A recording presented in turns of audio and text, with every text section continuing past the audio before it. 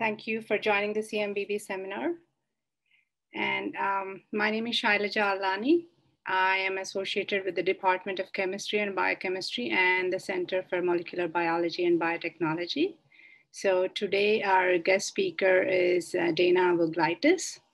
And uh, Dana, she's the Assistant Director of the Office of Technology Development, which is part of the Division of Research at FAU. She has served the university in this role for over four years. Prior to FAU, Dana worked as an in-house attorney advising on intellectual property matters at the Florida Institute for Commercialization of Public Research in Boca Raton and at Lincoln Center for the Performing Arts in New York City. She is licensed to practice law in Florida, New York, and New Jersey, and is a certified licensing professional. So um, the information that Dana is going to give today is very relevant to all of you and all of us um, because we had a wonderful talk uh, by Dana last semester in one of my courses. Uh, so it is, it's fun and very interesting. Now, uh, before I give it off to Dana, a couple uh, reminders. If you have any questions, please um, type them in the Q&A box. Do not use the chat option because that feature is disabled. And you can type in questions as uh, you go through the seminar, but we will um, have the question and answer session at the end of the seminar.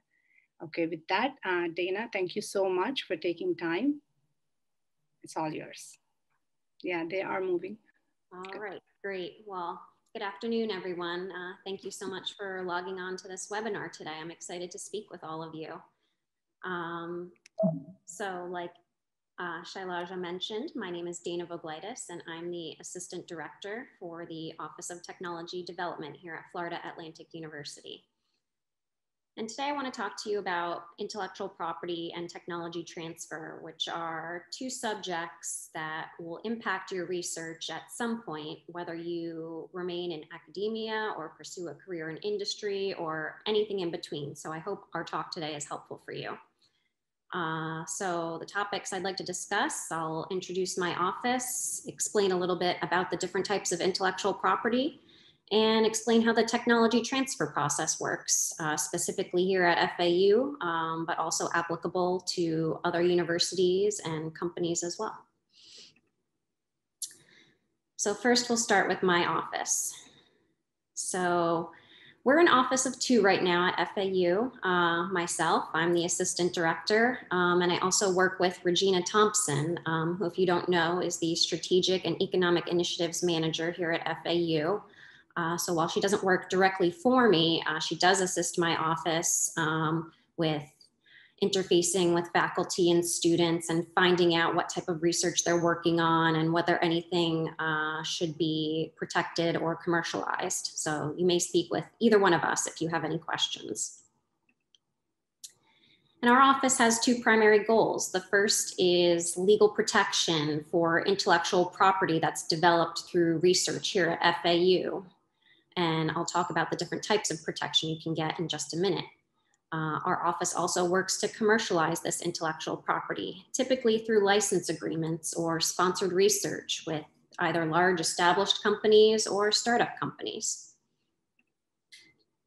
So let's go through the different types of intellectual property that you may encounter in your research. There's four main types, patents, copyrights, trademarks, and trade secrets. Um, in the university context, you'll likely encounter the first three, uh, probably not trade secrets, but if you have any aspirations to work in industry or start your own company, you may encounter that. So I like to give a good overview of all four. So we'll start with patents. So a patent is something that protects processes, machines, articles of manufacture, or compositions of matter. And I think all of these categories are applicable to your research in molecular biology or biotechnology. So an invention you create could fall into any one of those categories. You should know that a patent doesn't protect laws of nature, physical phenomena, abstract ideas, or any information that's already in the public domain. And a patent is really an exclusionary right. It gives the owner the ability to prevent others from doing things. They cannot make your invention, they can't use it, they can't sell it, they can't market it uh, within the United States or uh, whatever country you've obtained protection in. So what are some of the requirements to obtain a patent? First, it has to be new, it has to be different from what already exists out there. Second, it has to be useful. It has to have some real world utility. It has to serve a purpose. Third, it has to be non-obvious, meaning uh, the invention isn't obvious to someone who works in the field of the invention. So one of your colleagues in molecular biology or biotechnology wouldn't think that it's obvious to do whatever you have created. Um, and fourth, and, and, maybe most importantly in the university context, is that the invention can't be publicly disclosed. You cannot have used it, published it, sold it um, more than one year before you filed for a patent application. And just to go into a little bit more detail on public disclosures and, and what type of form that could take. Um, it could be a research paper you submit, it could be a grant abstract, a speech at a conference, poster presentations, or peer discussions. And when I mention all of these things, um, say you're an FAU student and you create something at FAU, if you're speaking with your professor at FAU or you give an internal presentation at FAU, that's not considered a public disclosure. What makes it a public disclosure is when you go outside the FAU community and tell others about what you've created.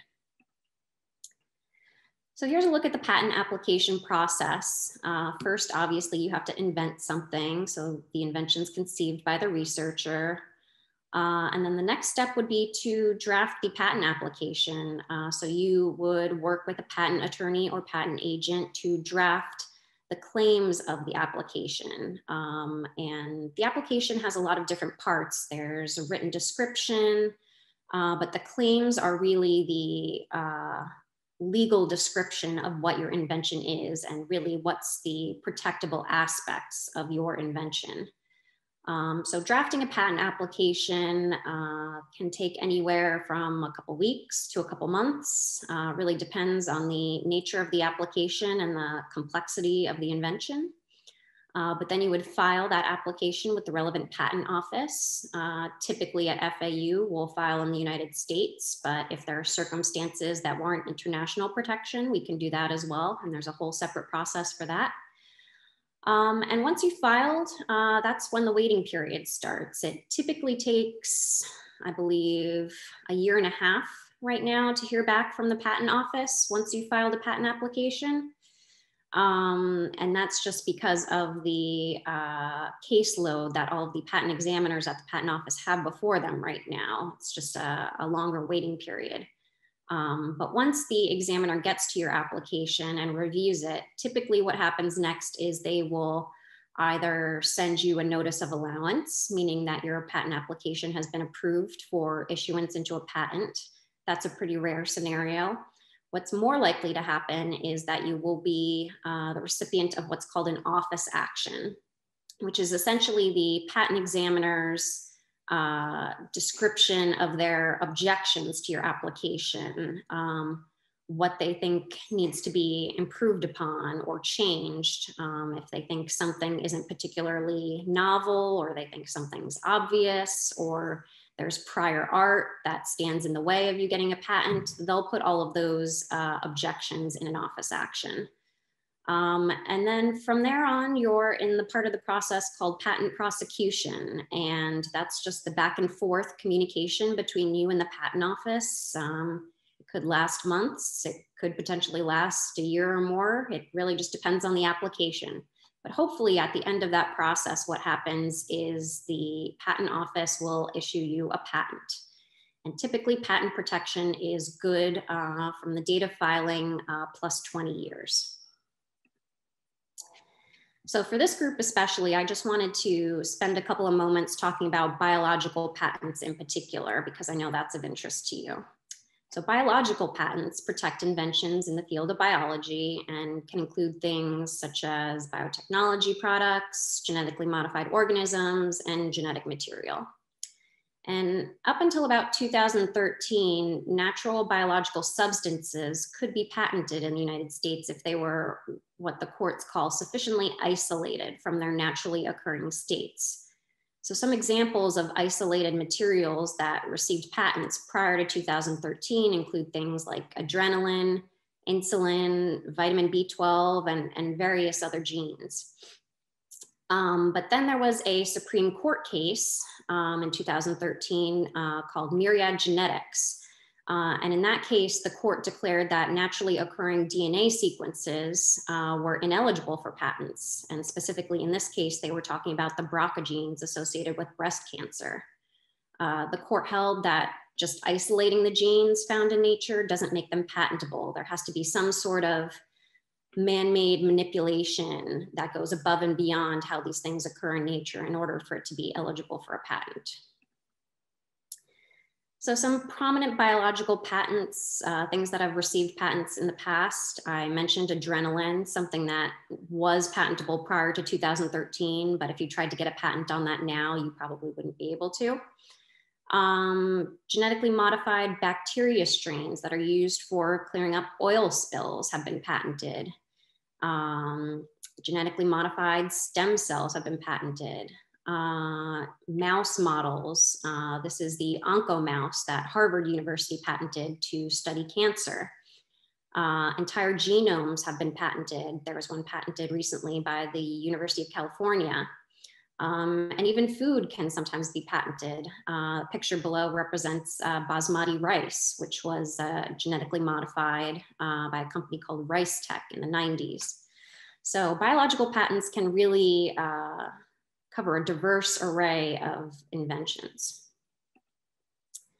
So let's move on to the next type of intellectual property, copyrights. So a copyright is different from a patent in that it protects creative works mostly instead of scientific and technical works. Um, it can protect things such as book, music, plays, choreography, photographs, paintings, sculptures, movies, and even architecture. And copyright doesn't protect the idea itself, it protects the creative expression of that idea. Um, and another difference from patents is that um, unlike patents where you have an exclusionary right, you have a right to prevent people from doing something. With a copyright, you're given a bundle of affirmative rights. Uh, so you as the copyright owner have the right to reproduce your work, distribute it, publicly display it, and publicly perform it. Requirements to obtain a copyright are much less uh, intense than patents. Really, it just has to be an original work of authorship, something that originally came from you, you didn't copy from anyone else. And it has to be fixed in a tangible medium of expression, which essentially just means it's written down, whether that's hard copy or electronically somehow. And to register a copyright, um, it's a fairly straightforward process. Uh, registration is actually optional. You already have copyright protection as soon as you create the work and fix it. Um, but registration enhances your legal rights. It uh, provides a presumption that the copyright is valid. It puts the public on notice that you are enforcing your copyright ownership. Um, and it allows you to, to sue in federal court. Um, so if you decide to register, uh, you would file a short form. A copyright attorney could assist you with that in the relevant copyright office, whether that's the United States or elsewhere. Um, and several months after you file for registration, the Copyright Office publishes a circular um, putting the public on notice that you are applying for copyright registration. Um, and then another few months after that, uh, the registration should issue, and a copyright is typically valid uh, for the life of the author plus 70 years, and that can vary slightly depending on the circumstances under which the work was created.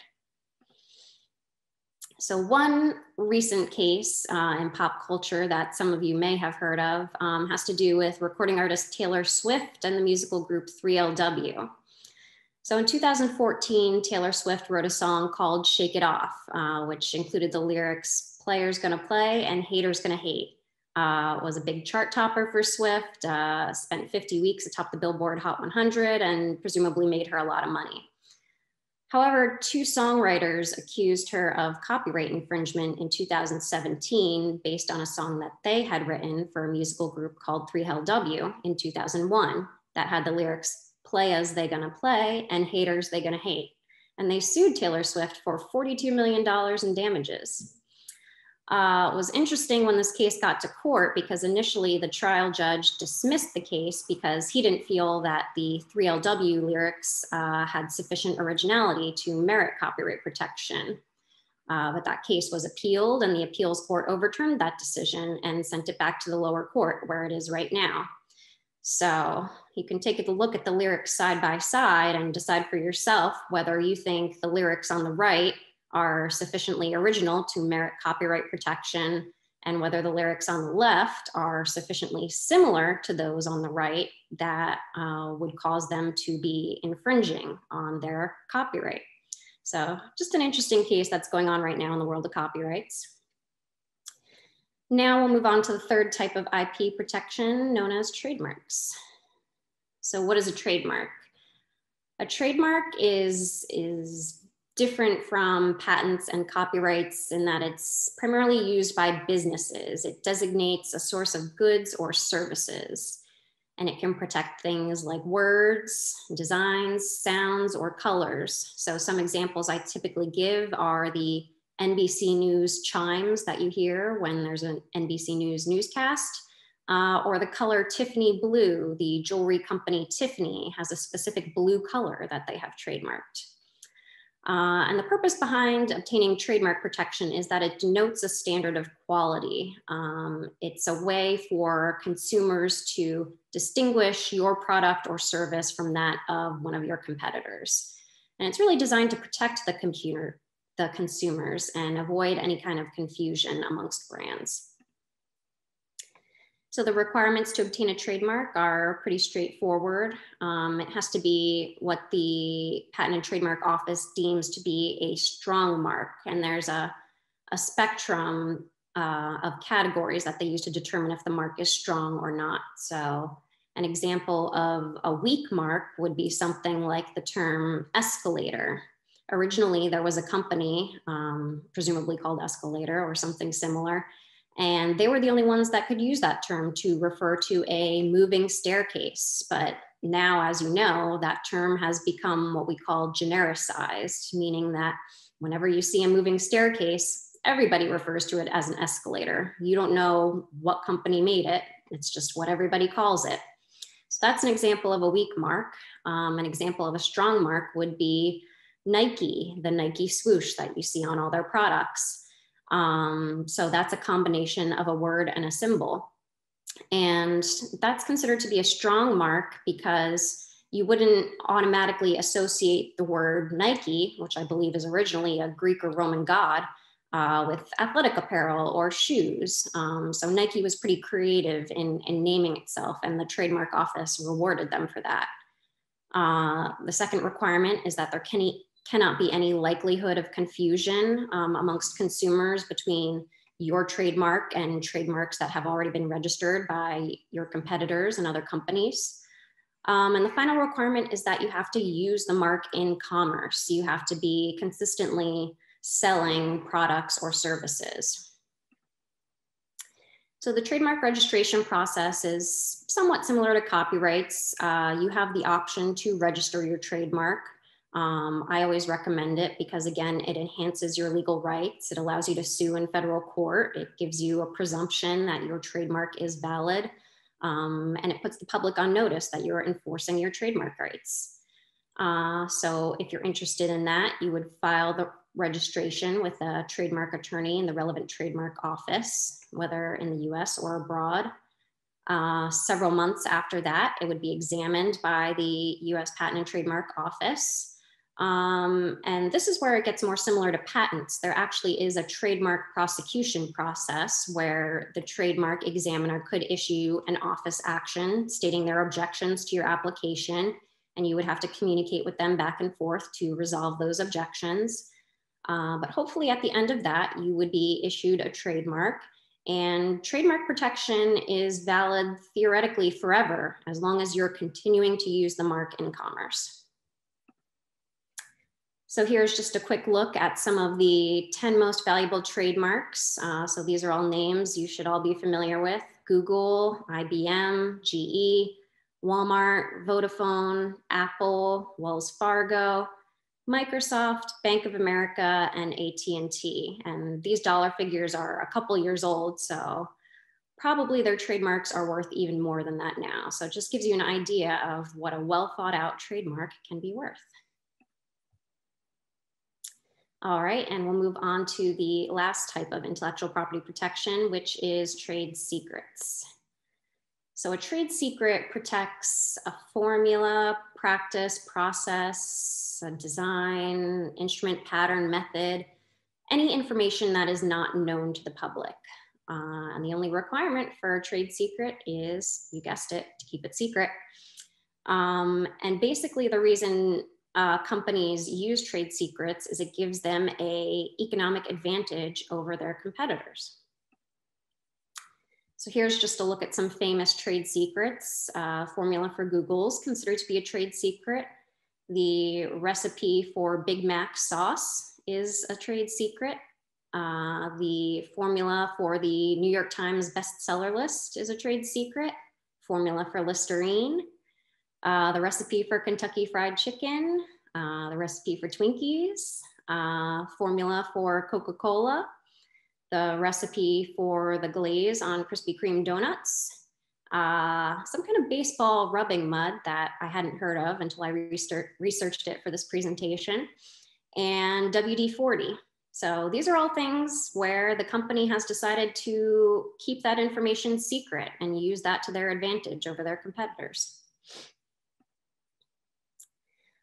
All right, now I just want to wrap up by going over the technology transfer process, which uh, is essentially the movement of research and intellectual property from university or possibly a company uh, to industry to benefit the general public. And depending on where your research career leads you, um, you will probably encounter the technology transfer process.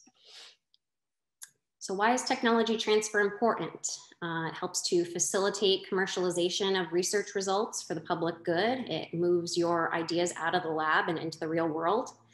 Um, in the university setting, it can help to reward, retain, and recruit faculty. Uh, it helps induce closer ties to industry by working with them to commercialize these ideas. Uh, generates income for everyone involved, promotes economic growth. Maybe you start a company around your idea. Um, and it's also necessary in some cases for compliance with federal law. So the technology transfer process, um, this is at FAU, but you'll find the process is similar at other universities and companies as well, um, is that you submit what's called an invention disclosure. So you submit the invention or the work um, to my office. We review it and determine the best way to proceed with protecting it and commercializing it.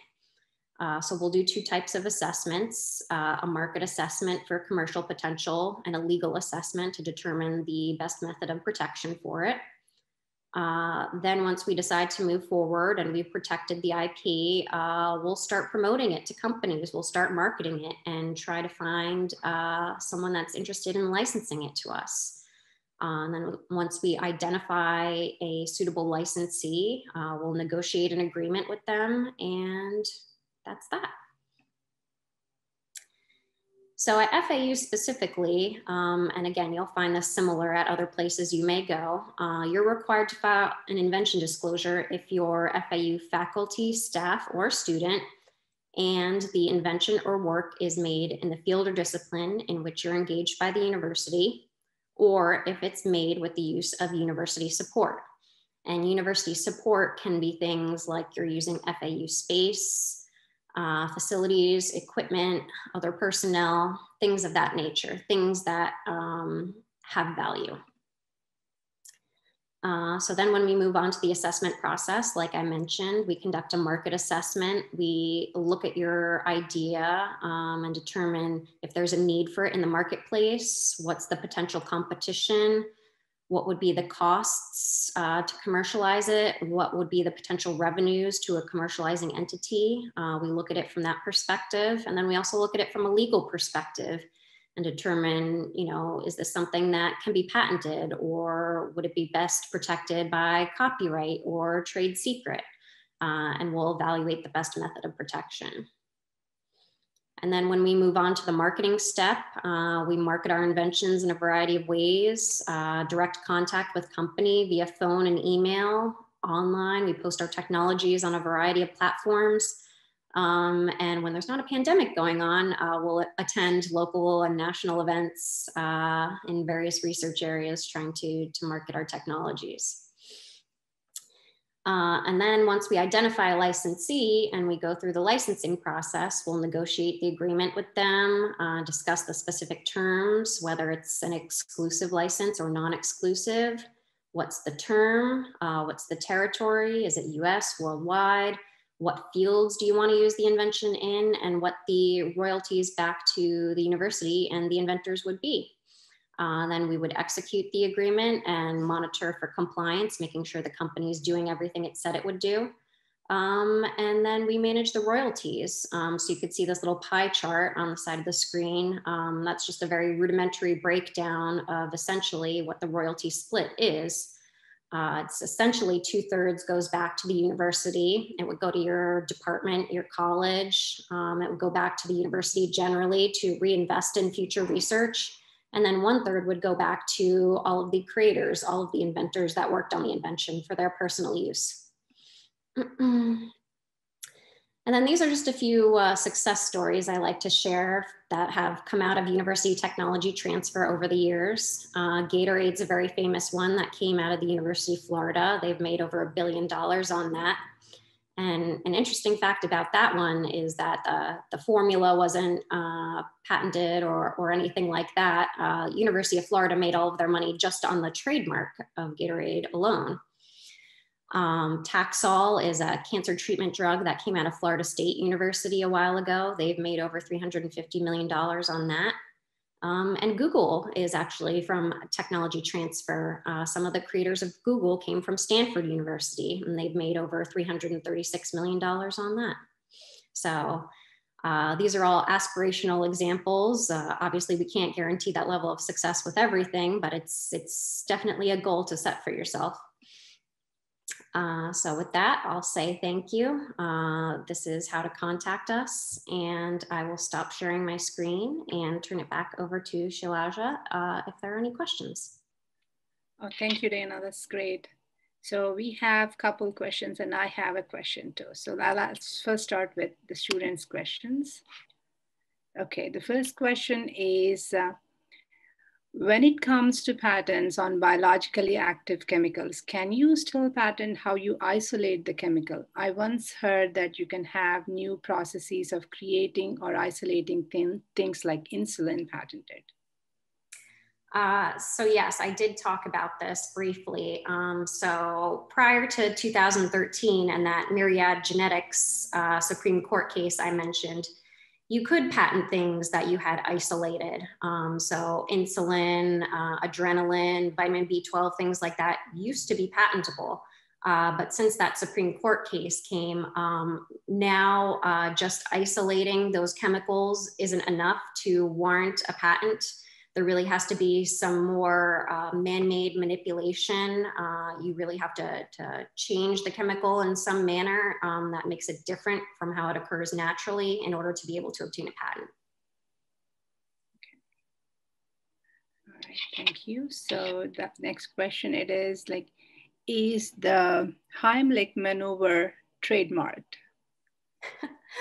That's a good question. Um, I don't know the answer to that, um, but I would be interested to find out. So I can research that and, and get back to you. And you know where to reach uh, Dana, so you can email her again if she forgets. Okay, so great presentation. Another question is, yeah, so this is a question for, I think, um, CMBB and Dr. Benninger. Like, will this file be accessible online for download? So yeah, we're working on that stuff actually. So to keep these lectures somewhere posted somewhere. Yeah, so when you're talking about licensing, you said about exclusivity, exclusivity and non-exclusivity. Could you expand on that, please? Sure. Um, so let's say you're patenting a new pharmaceutical drug that you created.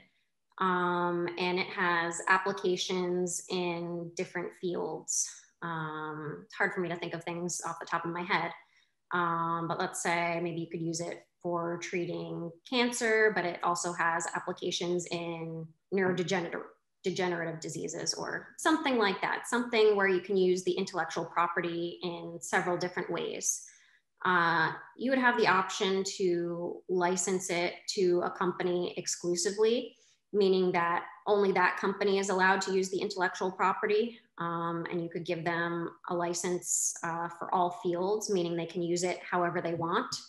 Um, or you could choose to license it non-exclusively, meaning that you could license it to several different companies and they could use it in several different ways without overlapping with what each other is doing. Uh, typically, exclusive licenses are more valuable because it's preventing all of the company's competitors from using it, um, but non-exclusive licenses uh, are, are frequently executed as well. I see. That's great. Yeah. Okay. So any other, I think that's it. So any other questions, anyone? All right, thank you so much, Dana. Thank you, everyone. So with that, yeah, bye then.